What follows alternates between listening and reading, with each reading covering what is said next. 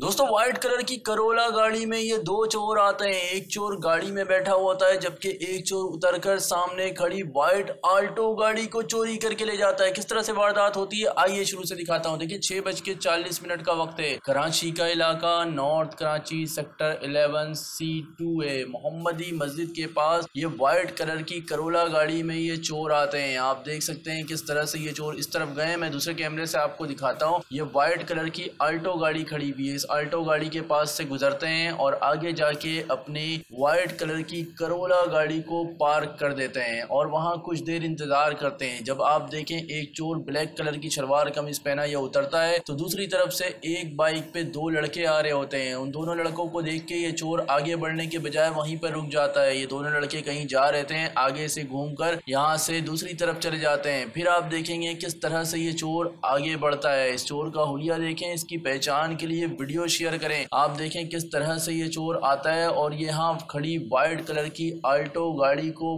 Master की से unlock करता है और बासानी यहाँ से लेकर फरार हो जाता है। आप देखें ये मोहम्मदी मस्जिद के सामने कॉर्नर पर ये खड़ी हुई थी वाइट कलर की आल्टो गाड़ी। इस गाड़ी को ये चोर लेकर गए। आप तमाम कराची वालों से गुजारिश है कि अपने घरों के बाहर लगे सीसीटीवी कैमरे को घर के अंदर लाइव चलाएँ ताकि आपकी गाड़ी महफूज रह सके और आप इस तरह के चोर को रंगे हाथों पकड़ सके। इस आल्टो गाड़ी का नंबर मैं वीडियो के डिस्क्रिप्शन में दे दूँगा और जिस भाई की ये गाड़ी थी, उसका भी नंबर मैं वीडियो के डिस्क्रिप्शन में दे देता हूँ। अगर आप में से कोई भी शख्स इस गाड़ी के बारे में या इन चोरों के बारे में कोई भी मालूम रखता हो तो डिस्क्रिप्शन में दिए गए नंबर पर कॉल करें या वन फाइव पे कॉल करें। इस वीडियो को ज़्यादा से ज़्यादा शेयर करें और अगर आप लोगों ने अभी तक हमारा यूट्यूब चैनल को सब्सक्राइब नहीं किया है तो प्लीज़ चैनल को सब्सक्राइब करें, बेल आइकन को प्रेस करें ताकि इस तरह की न्यू आने वाली वीडियो आपको टाइम टू टाइम मिलती रहे और आप पूरे कराची के हालात से बाखबर रह सकें। जजाकल्ला